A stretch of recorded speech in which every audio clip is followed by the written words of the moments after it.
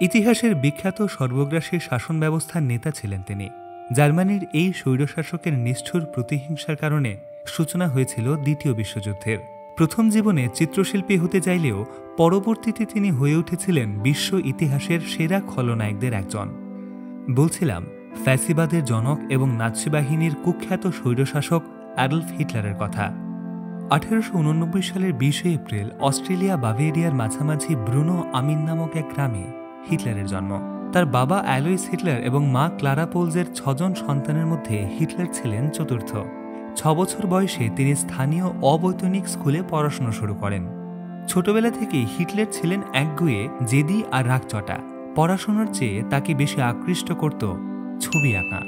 এগারো বছর বয়সে তিনি ঠিক করলেন, এবার পুরোপুরি ছবি আঁকাতেই মনোযোগী হবেন। কিন্তু চিত্রশিল্পী হওয়ার স্বপ্ন নিয়েও পরবর্তীতে কেন তিনি বেছে নিয়েছিলেন সামরিক জীবন? প্রথম বিশ্বযুদ্ধোত্তর জার্মানিকে পুনর্গঠন করে বিশ্বমঞ্চে যার নায়ক হওয়ার কথা, কীভাবে তিনি হয়ে উঠেছিলেন দ্বিতীয় বিশ্বযুদ্ধের সবচেয়ে বড় খেলোয়াড়? আজ আমরা অ্যাডলফ হিটলারের জীবনের আদ্যপান্ত আলোকপাত করে এই প্রশ্নগুলোর উত্তর খুঁজে নেবার চেষ্টা করব। তাই ভিডিওটি শেষ পর্যন্ত আমাদের সাথেই থাকুন।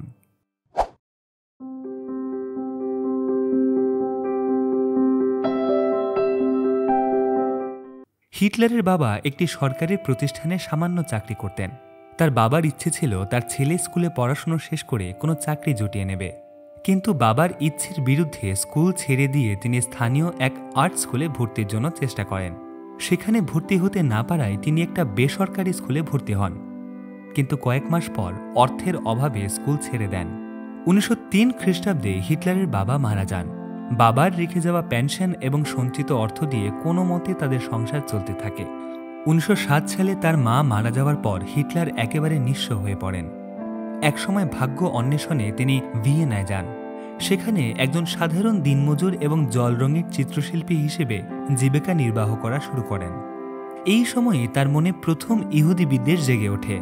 তখন ইহুদিরাই জার্মানির অধিকাংশ কলকারখানা এবং সংবাদপত্রের মালিক ছিল।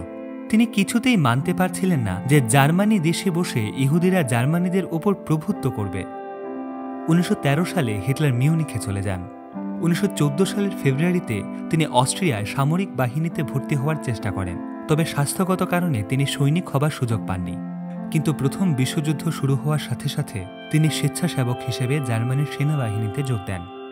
যুদ্ধে সাহসিকতা এবং বীরত্বের স্বীকৃতিস্বরূপ উনিশশো চৌদ্দ সালের ডিসেম্বরে তিনি সেকেন্ড ক্লাস আয়রন ক্রস লাভ করেন। উনিশশো চোদ্দ সালের আগস্টে তাকে ফার্স্ট ক্লাস আয়রন ক্রস দেয়া হয়। প্রথম বিশ্বযুদ্ধে জার্মানি হেরে যাওয়ায় হিটলার প্রচণ্ড রকম মুশড়ে পড়েন এবং তার মাঝে জার্মানির জাতীয়তাবাদ আরও তীব্র হয়ে ওঠে। যুদ্ধ পরবর্তী সময়ে বিপ্লবী একটি দল জার্মান ওয়ার্কার্স পার্টির উপর হিটলারকে কড়া নজর রাখার জন্য পাঠানো হয়। কিন্তু এই দলের আদর্শে প্রভাবিত হয়ে উনিশশো উনিশ সালে তিনি নিজেই জার্মান ওয়ার্কার্স পার্টিতে যোগদান করেন। এইভাবে তার রাজনৈতিক জীবনের যাত্রা শুরু হয়। উনিশশো কুড়ি সালে এই দলের প্রচারের দায়িত্ব দেয়া হয় হিটলারকে।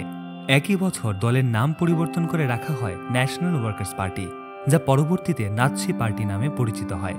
উনিশশো কুড়ি সালের চব্বিশে ফেব্রুয়ারি প্রথম নাৎসি দলের সভা ডাকা হয়। হিটলার এই সভায় তার পঁচিশ দফা দাবি পেশ করেছিলেন এবং স্বস্তিকা চিহ্নযুক্ত দলের পতাকা প্রকাশ করেন। ক্রমশ নাৎসি দলের জনপ্রিয়তা বৃদ্ধির ফলে তিন বছরের মধ্যেই দলের সদস্য সংখ্যা হয়ে যায় প্রায় ছাপ্পান্ন হাজার। জার্মানির তৎকালীন পরিস্থিতিতে এ ধরনের একটি রাজনৈতিক দলের উত্তরণের বেশ ভালো সম্ভাবনা ছিল। এরপর তিনি একটি ডানপন্থী সরকার গঠন করার জন্য বার্লিনে একটি সামরিক অভ্যুত্থান করার চেষ্টা করেন। কিন্তু এই অভ্যুত্থানটি ব্যর্থ হয়। এক বছরের জন্য তাকে ল্যান্ডসবার্গের পুরনো দুর্গে বন্দি করে রাখা হয়।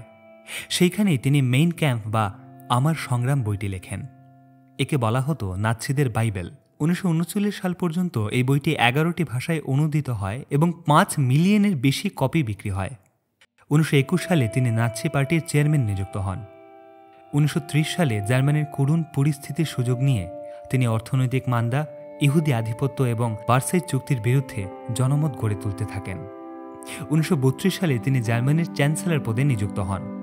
ক্ষমতা দখলের জন্য তিনি ঘৃণ্য রাজনৈতিক চক্রান্ত শুরু করেন। বিরোধী দলের মধ্যে নিজের দলের লোক প্রবেশ করিয়ে বিশৃঙ্খলা সৃষ্টি করার মাধ্যমে তিনি সমস্ত জার্মানের অবিসংবাদিত নেতা হয়ে ওঠেন। উনিশশো তেত্রিশ সালে হিটলার ভার্সাই চুক্তির শর্তগুলো মানতে অস্বীকার করেন এবং নিজের শক্তি এবং ক্ষমতা বিস্তারে মনোযোগী হন। উনিশশো চৌত্রিশ সালে রাষ্ট্রপতির পরিবর্তে হিটলার নিজেকে জার্মানির ফুয়েরার হিসেবে ঘোষণা করেন। এই সময় হিটলার রাষ্ট্রের অর্থনীতিকে নতুনভাবে সাজান। সামরিক বাহিনীকে নতুন নতুন সব অস্ত্রশস্ত্রে সজ্জিত করেন এবং সর্বোপরি একটি সমগ্রতাবাদী এবং ফ্যাসিবাদী একনায়কত্ব প্রতিষ্ঠা করেন। উনিশশো উনচল্লিশ সালে জার্মানরা পোল্যান্ড অধিকার করে, ফলে ব্রিটেন এবং ফ্রান্স জার্মানির বিরুদ্ধে যুদ্ধ ঘোষণা করে। এভাবেই দ্বিতীয় বিশ্বযুদ্ধে শুরু হয়। যুদ্ধের অক্ষশক্তি তথা জার্মান নেতৃত্বাধীন শক্তি ইউরোপ, আফ্রিকা এবং এশিয়ার বেশ কিছু অঞ্চল দখল করে নেয়। কিন্তু অবশেষে মিত্রশক্তি বিজয় লাভ করে। উনিশশো পঁয়তাল্লিশ সালের মধ্যে জার্মানি ধ্বংসস্তূপে পরিণত হয়। হিটলার পদ্ধতিগতভাবে ইহুদিদের হত্যা করার জন্য তৈরি করেছিলেন অসংখ্য কনসেন্ট্রেশন ক্যাম্প।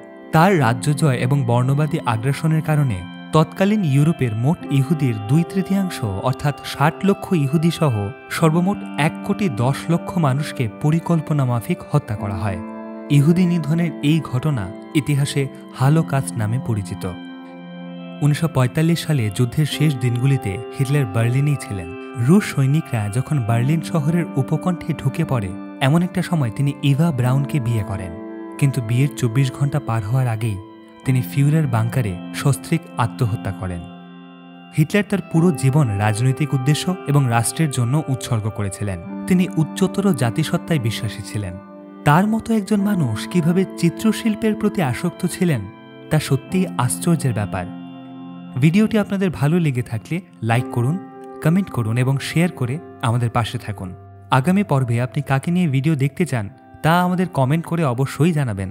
আমাদের পরবর্তী ভিডিওটি হতে পারে আপনার পছন্দের ব্যক্তিকে নিয়ে।